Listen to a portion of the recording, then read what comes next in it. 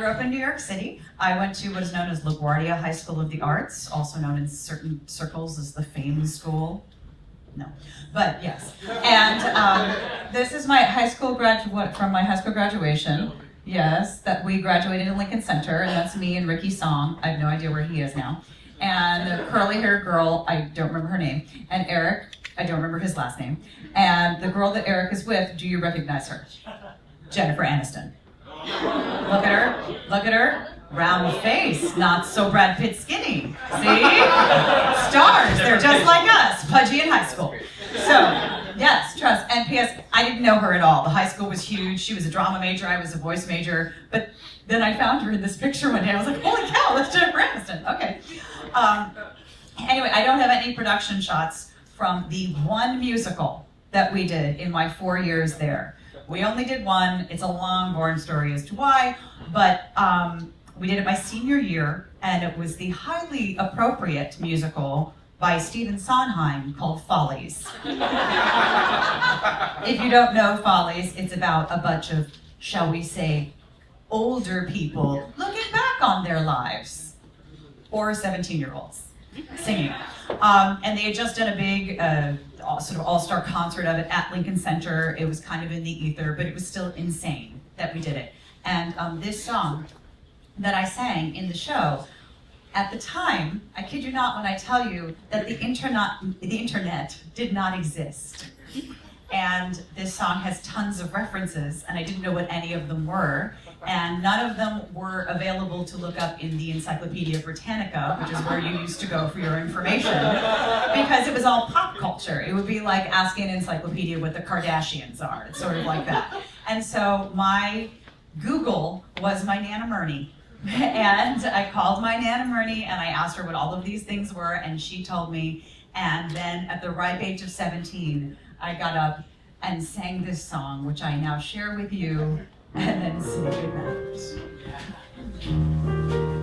It means a lot more now, though, I have to say. I can relate more.